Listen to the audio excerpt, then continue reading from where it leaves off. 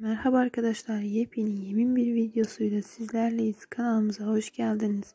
Sizler için Yemin dizisinin yeni bölüm fragmanından bahsedeceğiz arkadaşlar. Bildiğimiz gibi sezon bölümünü birkaç bölümünü geride bırakan Yemin dizisi heyecan dolu bölümlerle izleyici karşısına çıktı. Türlü oğlunu kabullenmek istemeyen Emir'in öfkeli hallerini birkaç bölüm izleyeceğiz arkadaşlar.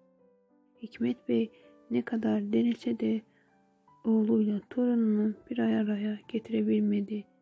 Diğer yandan da Cavidan torununa bakması için Feride'nin ona annelik yapmasını isteyecek. Feride kardeşi için Cavidan'ın teklifini kabul etmek zorundadır. Feride'nin konağa gelişi çok yakındır arkadaşlar. Feride'nin konağa gelişinden rahatsız olan da Emir olacaktır. Konakta kalan Feride'nin bazı özelliklerini Emir Reyhan'a benzetecektir.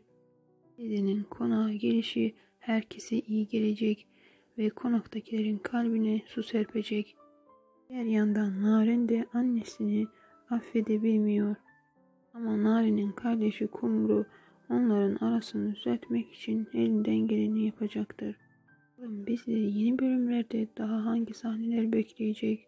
Yeni paylaşımlar geldikçe sizlere sunacağız. Videomuzu beğendiyseniz beğen butonuna da basmayı unutmayın. Şimdilik bu kadar. Hoşçakalın.